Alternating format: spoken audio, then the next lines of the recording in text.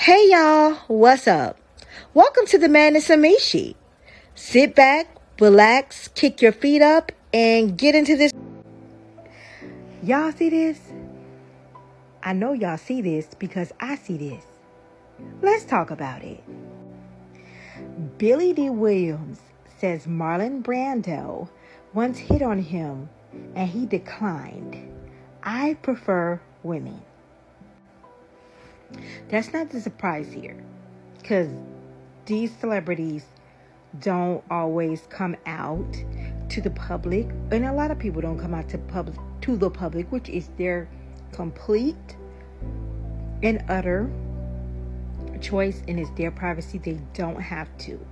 But why is it that when people get old they start running their mouths and telling all the business? I mean all the business it's men and women be, and every race because black people do it, um, white people do it, Asian people do it.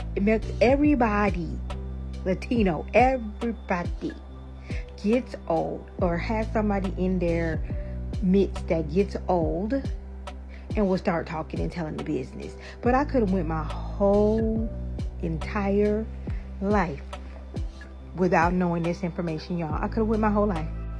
Now, let's just be real here. Billy Dee Williams is fine. And in his heyday, he was ultra fine.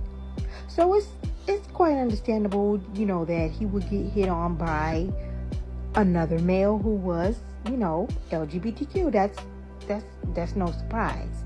But why are you telling us, Billy?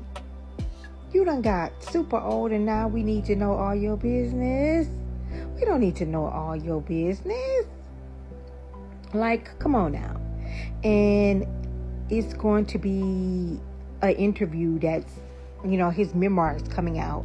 And it says February 13th. So I'm sure there's going to be even more dirt on other people in there who found Billy Dee attractive. Because everybody did. He's an attractive man. There's no if, ands, or buts about it. There's no denying it. Billy Dee Williams is an attractive man. But, um, I did not need to know that Marlon Brando hit on you, sir. I just didn't. Y'all, y'all, y'all wrangle y'all old folks in, please, because they just be talking.